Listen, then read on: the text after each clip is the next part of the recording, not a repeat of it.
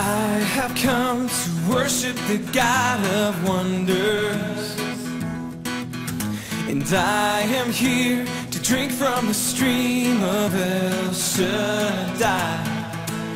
I have come to listen to my Creator. And I am here to lift up the name of Jesus Christ.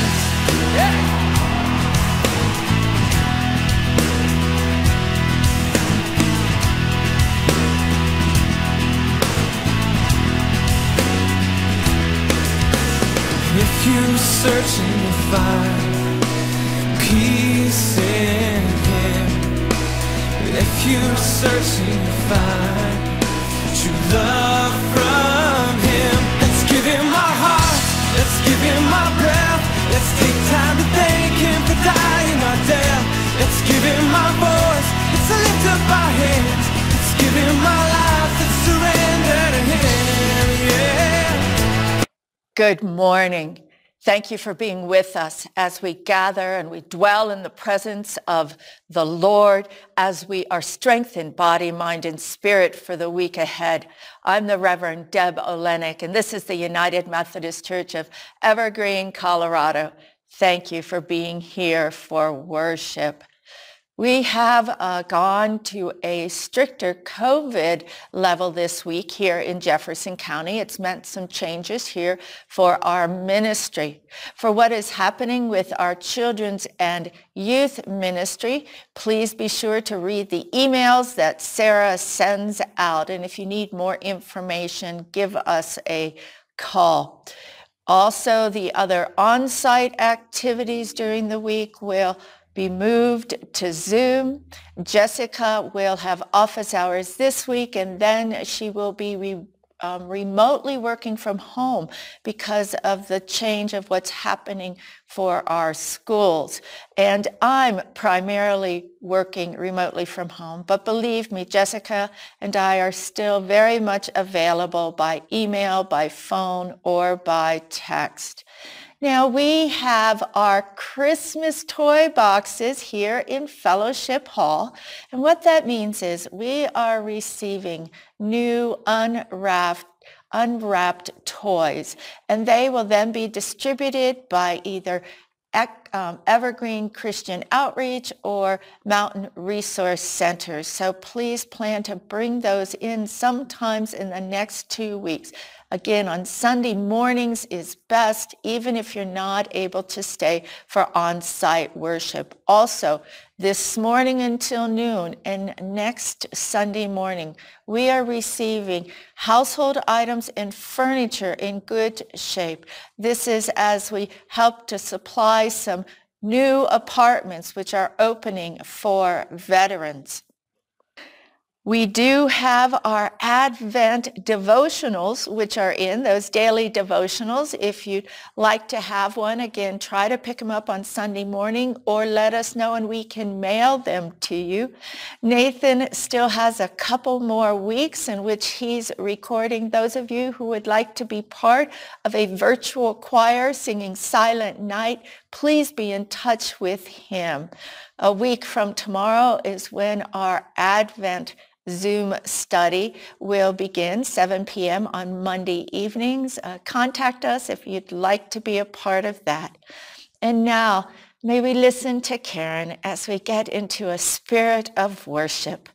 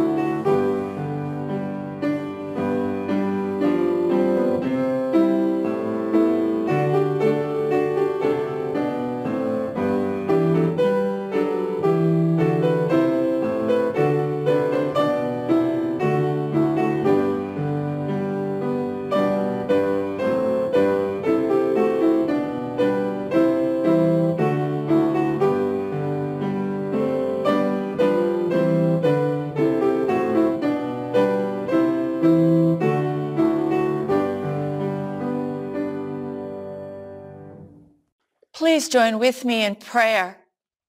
God of fall and winter, God of spring and summer, you know the seasons of our lives.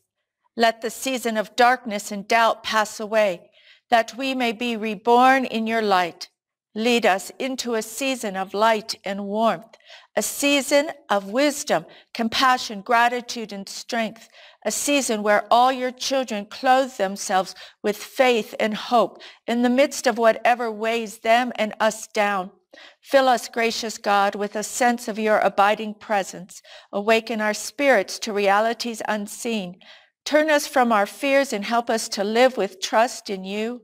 Expand among us such mutual regard and encouragement as will build up community and lead all of us to live in the light. May faith and love dominate all our relationships as we enter into the joy of serving in the name of Christ. We lift up our health care heroes, so many of them, and our hospitals at their limits. Keeps, keep us mindful of the importance of our own safe practices at all times. Help heal those who are suffering from COVID, and we lift up those who have lost their lives this week to this disease. We also lift up their loved ones. We lift up all who are in need this day. May your power and grace give them healing, hope, and relief from the struggles of their lives. As we join in the prayer our Lord taught us, our Father who art in heaven, hallowed be thy name. Thy kingdom come, thy will be done on earth as it is in heaven. Give us this day our daily bread, and forgive us our trespasses, as we forgive those who trespass against us. And lead us not into temptation, but deliver us from evil. For thine is the kingdom and the power and the glory forever. Amen. We turn now to our gospel reading, which is the same as last week, coming from Luke chapter 14, verses 27 to 32. Hear these words.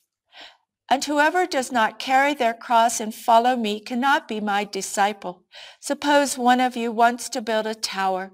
Won't you first sit down and estimate the cost to see if you have enough money to complete it? For if you lay the foundation and are not able to finish it, everyone who sees it will ridicule you, saying, this person began to build and wasn't able to finish. Or suppose a king is about to go to war against another king. Won't he first sit down and consider whether he is able with 10,000 men to oppose the one coming against him with 20,000?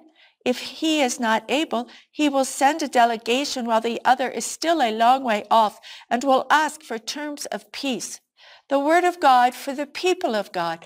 Thanks be to God.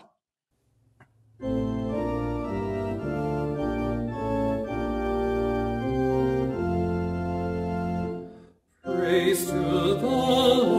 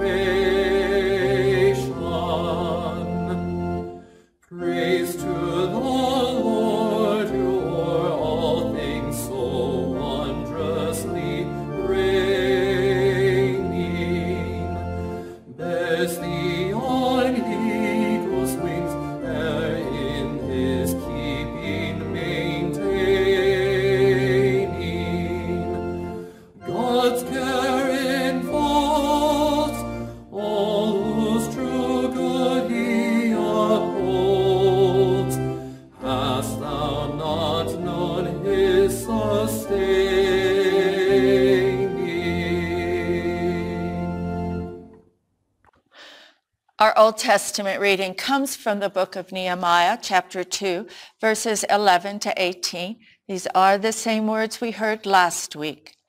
I went to Jerusalem, and after staying there three days, I set out during the night with a few others. I had not told anyone what my God had put in my heart to do for Jerusalem. There were no mounts with me except the one I was riding on. By night I went out through the valley gate toward the jackal well and the dung gate, examining the walls of Jerusalem, which had been broken down, and its gates, which had been destroyed by fire. Then I moved on toward the fountain gate in the king's pool, but there was not enough room for my mount to get through. So I went up the valley by night, examining the wall. Finally I turned back and re-entered through the valley gate. The officials did not know where I had gone or what I was doing because as yet I had said nothing to the Jews or the priests or nobles or officials or any others who would be doing the work. Then I said to them, you see the trouble we are in. Jerusalem lies in ruins, and its gates have been burned with fire. Come, let us rebuild the wall of Jerusalem, and we will no longer be in disgrace. I also told them about the gracious hand of my God on me and what the king had said to me. They replied, let us start rebuilding. So they began this good work. The word of God for the people of God. Thanks be to God.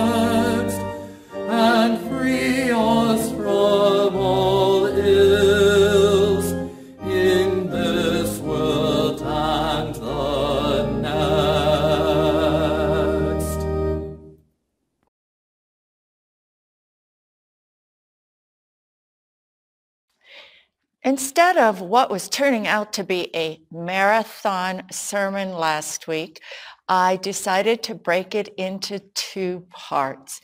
Those of you who were here last week know what I'm talking about. Those of you who weren't, you're going to catch on where we are at fairly easily.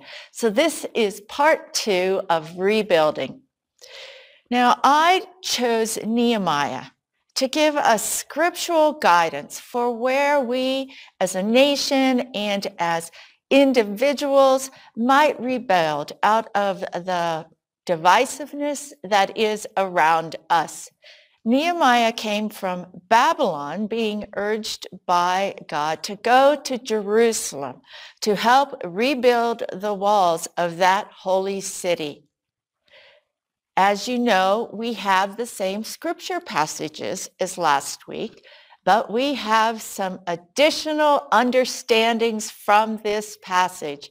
For what goes into rebuilding anything of importance and this now we move right back in with Nehemiah and the people of Jerusalem. So the first understanding for today is work effectively with all kinds of people in order to serve God, in order to reweave some of the fabric of our nation, which is a bit frayed, be it those of us here or be it those at the highest level. We need to learn how to work effectively with all kinds of people. Nehemiah was sensitive to people and he responded to them with tact, but also when he needed, he brought uncompromising strength. There's three types of people that he dealt with in um, our part of his story. First, Nehemiah had to deal with an unbelieving king in Babylon. This was an especially difficult situation because the king being Nehemiah's direct boss, literally with the flick of a hand could have caused Nehemiah's head to roll. So to convince this Persian king to change his approach to Jerusalem was no easy task. However, Nehemiah, over time, had gained the king's respect through his competence on the job, his trustworthy character, and his loyalty. When we are working with people who might want to discount us, remember we need to take time so they get to know us and see that we're trustworthy and see our competence and also loyalty in the sense that we do care about their well-being and not just our own. Next were the demoralized citizens of Jerusalem. They believed in God's promises intellectually, but they had lost hope. They had tried to rebuild the wall and they really didn't want an outsider coming in and telling them to do something that they knew could not be done. Some may even not have seen the need. Others would be warning, oh, if you try to rebuild the wall, you're only going to incur trouble with the surrounding governors. And there were a third group of difficult people, ones we would have met in verses right before our passage and verses right after our passage. These are the ones who opposed the whole endeavor. They didn't want a fortified Jerusalem because it would threaten their political positions. They didn't care about the plight of the average Jew, much less about the name of the Lord being exalted in Jerusalem. So they were displeased. They joined together to ridicule the project. With these people, Nehemiah sensed that diplomacy would not work. So he clearly drew the line between them and God's people so that they couldn't join the project with the goal of sabotaging it. Second understanding for today, convince others to share the pride and the passion as we talked about last week, Nehemiah made a proper survey with a few others and evaluated the work to be done. Then, then Nehemiah called a meeting of those uh, surrounding Jerusalem. He called together officials, priests, nobles, but also workers who would be doing the work.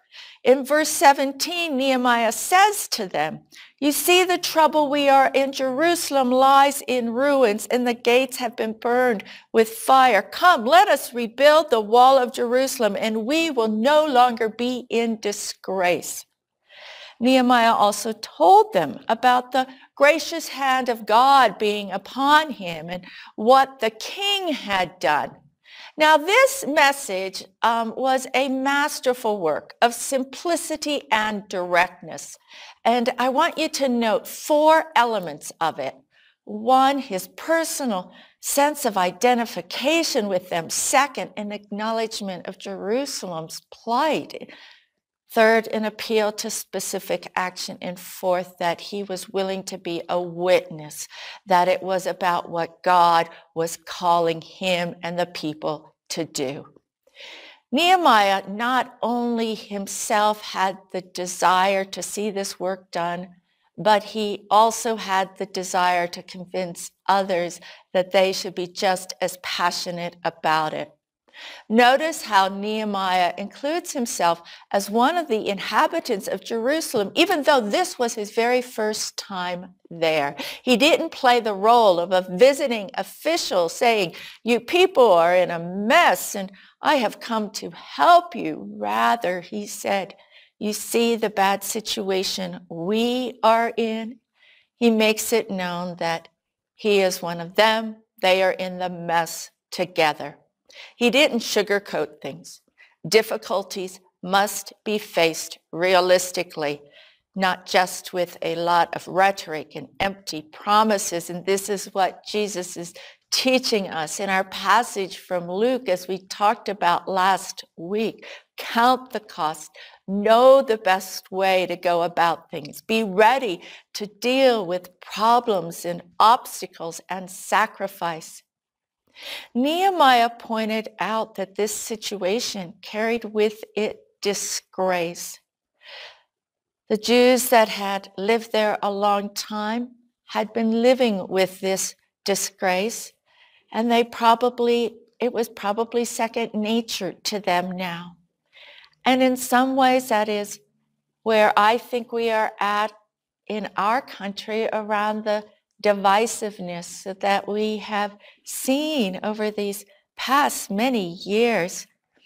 Nehemiah stirred up in the people a healthy sense of pride and reignited the desire to get rid of the disgrace.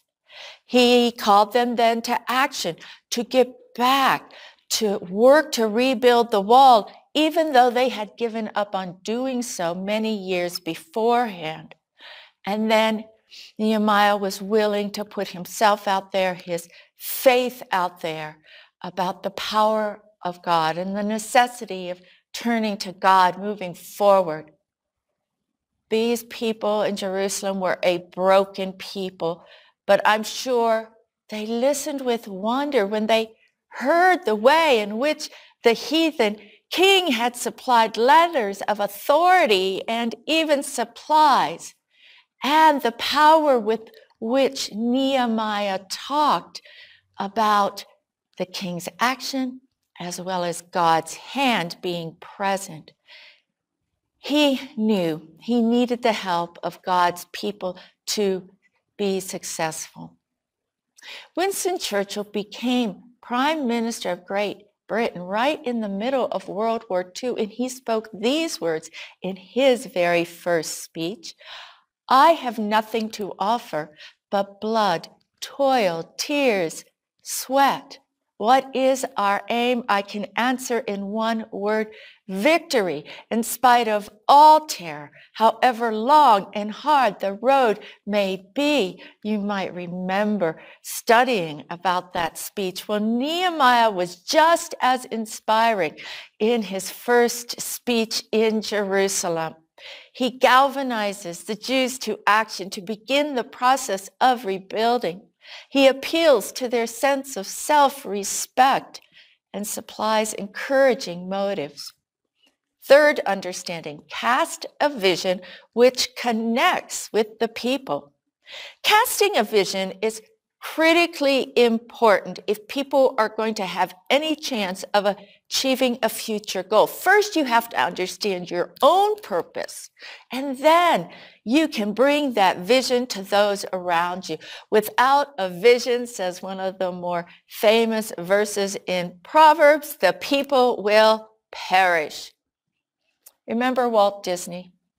He was one of the most visionary people in American history, making groundbreaking movies, taking animation to never before imagined heights. And of course, creating Disneyland in California and Disney World in Florida.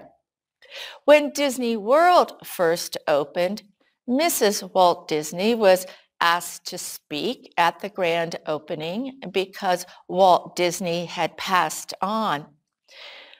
She was introduced. She was introduced by someone who said, Mrs. Disney, I just wish Walt could have been here to see this. Her speech, well, she had just heard someone say to her and to everyone else gathered, I wish Walt could have seen this. So Mrs. Disney stood up and said, he did. And that was her speech. And she sat back down. For Walt Disney had already enjoyed Disney World through his vision of it, though he wasn't alive when the gates were opened for the first time. Four, set aside an independent spirit to work together. If we were to jump ahead to chapter 3 in Nehemiah's story, we would see that he divided the work among 42 groups.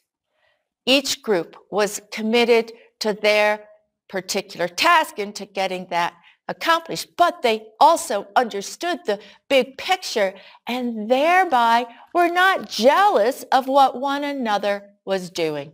They knew they needed one another, so they appreciated each other for the work they were able to contribute. There was not the priority of an independent spirit among the people who responded to Nehemiah's call. They knew their strength would come from their unity. The minute our vision changes from God's purposes to our own private work, our strength is gone. Five, claim a unity of purpose. For our nation, with God's help, we will need to discover and claim some kind of unity of vision, no matter what our political persuasion. For if there is no unity of vision, there will be no unity of purpose. Nehemiah was able to translate the vision. Therefore, they all had the same purpose to rebuild the walls to God's glory. Let me wrap up with this. I believe we need to go forth for our nation being as encouraging and as visionary and as passionate as we each can be, no matter what the state of the walls of our Jerusalem. We need each other for this. We'll need many, many people Whatever the state of the walls of our own Jerusalem, it took more than one year and more than just a few people for them to be in the state they are in, and it will take more than one year and more than just a few people for them to be rebuilt. So let's start rebuilding. And here's a few questions to ponder in the week ahead. What can we do about the obstacles holding back the values of Christ's gospel being front and center for our nation? What steps would you advise for someone who does not work well with people in order for them to acquire this essential skill? And how can we guard ourselves against disappointment and cynicism when things do not match our expectations as we seek to serve the Lord. Amen.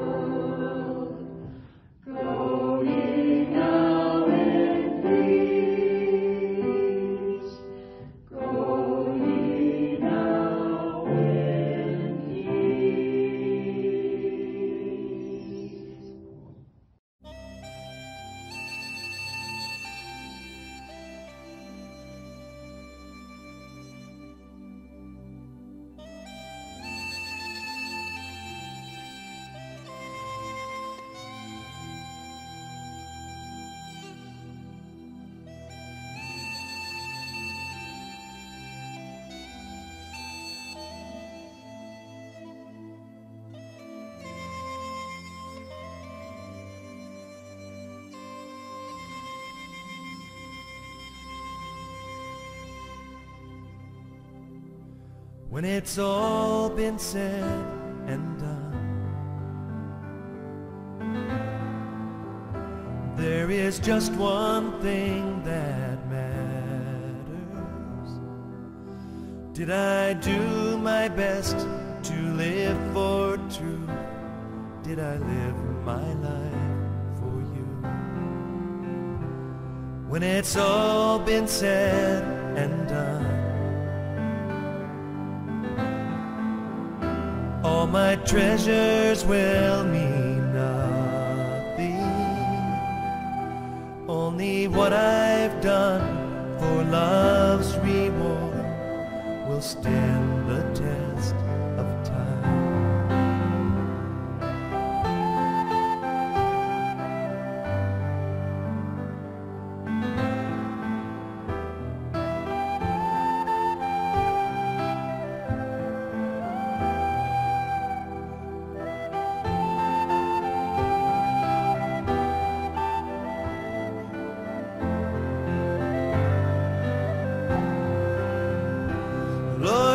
mercy